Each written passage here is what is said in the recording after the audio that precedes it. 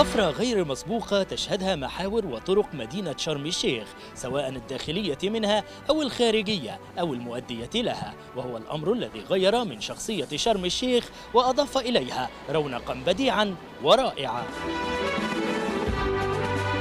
بأطوال تقدر ب 666 كيلومترا تم تنفيذ أعمال الطرق في مدينة شرم الشيخ على ثلاث مراحل متنوعة وبإشراف كامل من الهيئة الهندسية للقوات المسلحة فضلا عن زراعة مئات الآلاف من الأشجار اليانعة على جوانبها لتتحول شرم الشيخ لمدينة خضراء.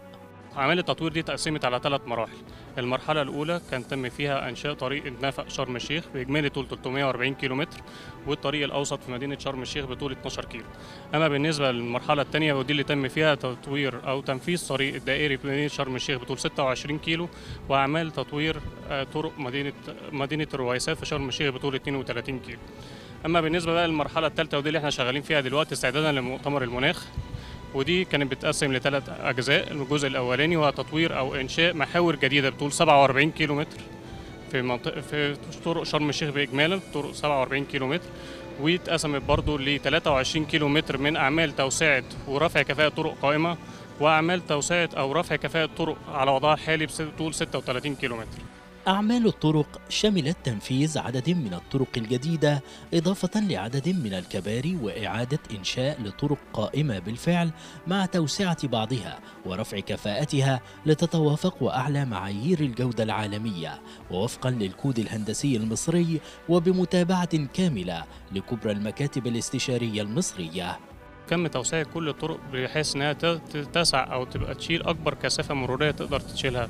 وخصوصا طريق مدخل شرم الشيخ بحيث إن هو الطريق نفسه زاد عرضه بدل الطريق القديم اللي كان عبارة عن حارتين في بعض القطاعات لحارتين وحارتين بقينا بنخش أكتر من خمس حارات وخمس حارات.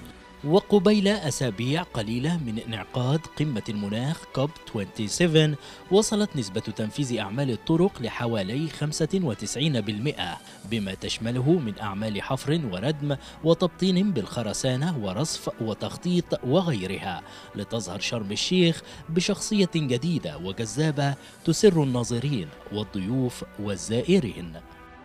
من مصر طارق أحمد.